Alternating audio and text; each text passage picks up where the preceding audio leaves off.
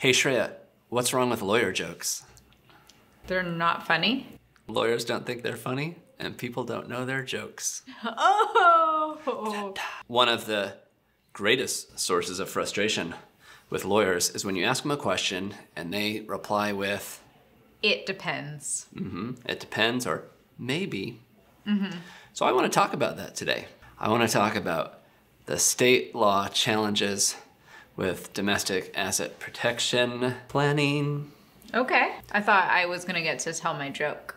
What's your joke? My favorite joke. Then tell your joke. What's I'm brown and sticky? A stick, Shreya. All right, so let's talk about state laws and the challenges they present when doing asset protection planning. Is that a, an ad? No, I just wanted a- to sit. Here's the thing there are 50 United States and our great nation. Yes, there are.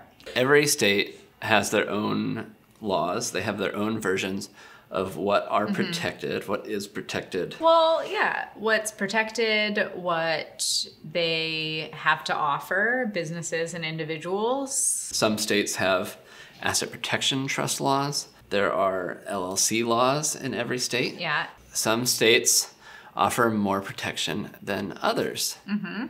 So naturally, To small business owners like us. so naturally what happens is people want to use those improved laws, those better laws, mm-hmm. even if they don't live in that state. For example, we so, see a lot of people using Wyoming LLCs Or Nevada. because they offer more protection for single member LLCs. Mm-hmm. There are Nevada domestic asset protection trusts, but Wyoming offers them, Alaska, Missouri, mm-hmm. South Dakota, all these different places.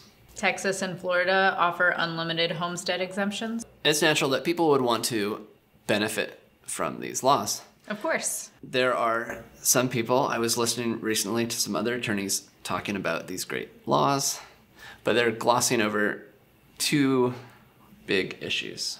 What are these issues? So there are two issues to consider when you are relying on the protection, the laws of a different state where you don't live. So the first thing is a choice of law analysis, and the second thing is the full faith and credit clause. Okay, Shreya, so let's go over what these are. Yeah. And let's talk about it and crank it up to a 10. Uh, yeah. Imagine yourself in Washington. You go to court. Something's gone on. You've got this stupid lawsuit at your door, and you're saying, Just weighing over you like a dark cloud. so you get into court and you say, Hey, judge, here's my argument. My assets are in an LLC that is governed by the laws of Wyoming. And those laws allow for X, Y, Z. So I would like to use those laws for my protection, please. On the other side, the person who is coming after you is going to say, Hey, judge, we're in Washington. This person lives in Washington. I propose that we use the laws of our state instead of the laws of Wyoming. Boom, boom. Clashing. Clashing in the courtroom there. And who is the judge going to listen to? It might depend on how the judge feels about it. There I know. is. I did it. I did the lawyer thing. It depends. One of the biggest problems with our court system is there's so much uncertainty. So there's no way to mm-hmm. give a a definitive answer. definite. See, she's my word lady. So the judge is going to do a choice of law analysis. The judge is basically going to decide what laws are going to govern this Clash. clash. Ideally, if you are wanting Wyoming laws, you're hoping the judge is going to say Wyoming. If you're on the other side, they're hoping they're going to say Washington or the local laws, wherever Right. it is that you are, because that's obviously going to be more favorable for them. So if your strategy is relying on those Wyoming laws and the judge decides to use your local laws and set those Wyoming laws aside, your plan is going to fail. Right there, you're not going to get the protections that you Yeah. were hoping for. The other issue that we mentioned is the full faith.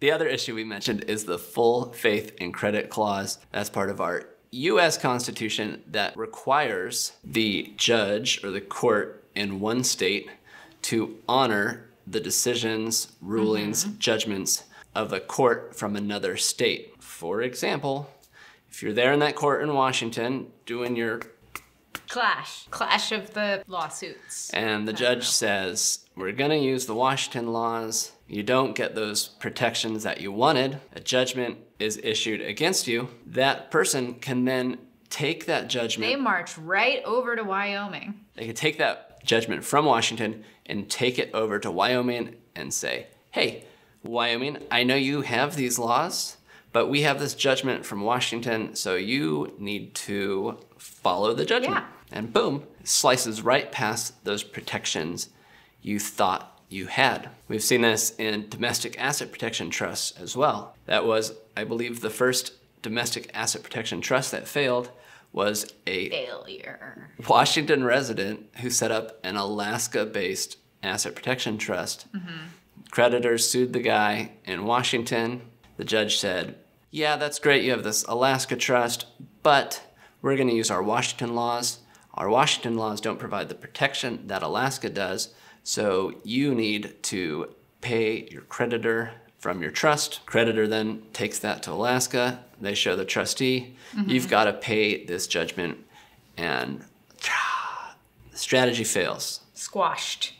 Dreams squashed. This issue is a source of much frustration that people have when we discuss asset protection because they want this definitive answer on what's going to happen. They're saying, hey, I'm relying on Washington laws to protect my IRA or um, life insurance, or you're relying on that other state's LLC laws to protect you.